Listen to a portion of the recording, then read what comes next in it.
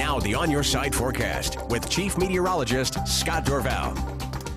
Before we talk about the cloud cover, I wanted to mention and say a big hello to all of the second graders at Star Elementary today. I had a great time talking weather to the kids, and I got to tell you, second graders getting ready to study weather have learned a lot already, and they are talking about air pressure. These are second graders now, so I was very impressed, and I want to say a big hello to everybody at Star Elementary, including all those second graders that we talked to today.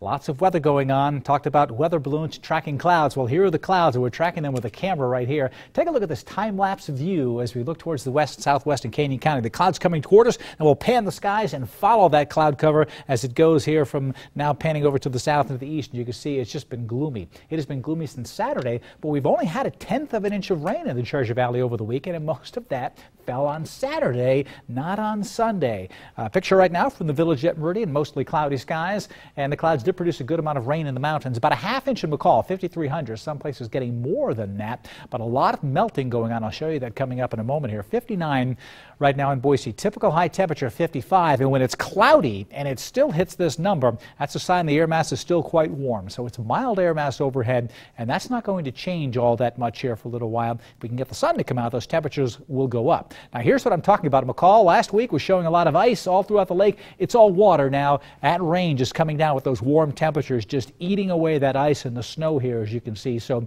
really beginning to warm things up right now. Spring skiing still going on. Mountains are hanging on because they still have snow left, but those temperatures have been mild. 49 McCall right now, not all that warm, although that's still uh, quite a bit above average. And you see these high temperatures getting into the 50s. Look at Stanley today, 58 degrees.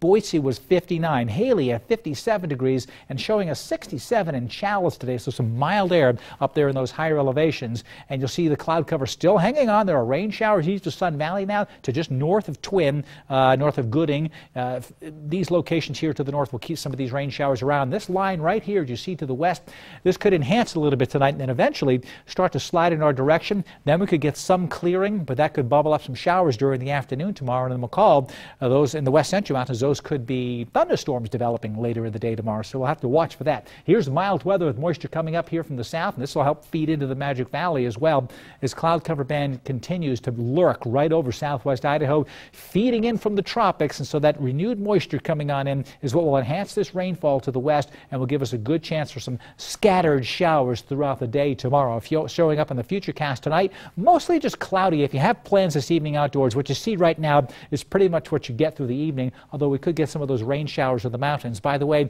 that system coming in tomorrow, we're still talking 7,500 feet snow levels in the west central mountains, 8,500 in the east central mountains. Could go as low as 7,000, but a couple of inches not out of the question, but it's a tough call. Tuesday morning doesn't show any rain here in this chart. Cloudy, but I think some showers will develop during the day. We could get some clearing in the afternoon, but even at night, we could get some showers coming in later on. So throughout the day tomorrow, you see those popcorn showers popping up during the evening, despite the fact that we might see the sunshine for the first time in a while tomorrow we still have the chance for those showers developing even when that occurs. So that chance for showers tomorrow, but notice Wednesday, look at all those clear skies coming in. We'll keep that sunshine around. Low pressure is going to move on by to the north, that southwesterly wind, giving us those scattered showers tomorrow, but then that jet stream is going to shift back to the north and over the week, uh, towards moving toward, towards the end of the week, lots of sunshine and dry conditions coming right back in.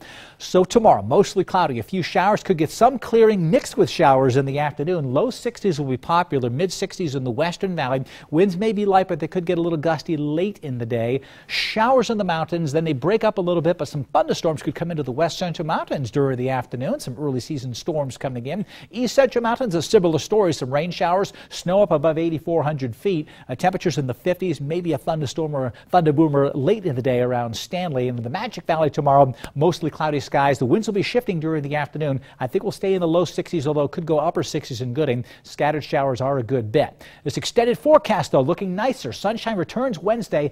Look at Thursday and Friday. 67 to 73 by Friday. Beautiful weather coming in. We had great weather last Friday. We've got it coming in for this Friday as well. But we may get more showers during the day on Saturday as the temperatures cool back down.